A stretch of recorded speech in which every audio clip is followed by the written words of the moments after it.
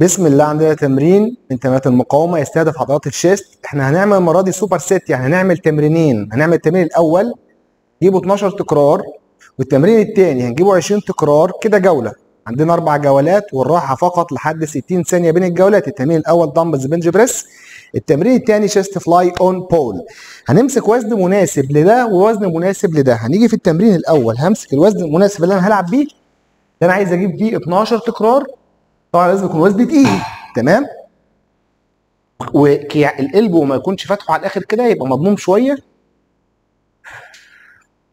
أنزل ببطء. أنزل بتركيز والايقاع يبقى ببطء لحد ما أجيب ال 12 تكرار. أقوم ما استريحش. أروح للتمرين الثاني الكرة السويسرية بتاعتنا. هنزل على الكورة ومعايا ال dumbbells الثاني ظهري رجلي على الأرض جذعي مفرود ظهري مفرود. أبدأ أفرد إيديا مفرودين عشان ده fly chest fly ببطء لحد أنزل أنزل ببطء. وأنا فارد كيعاني مش قوي يعني بس فاردها.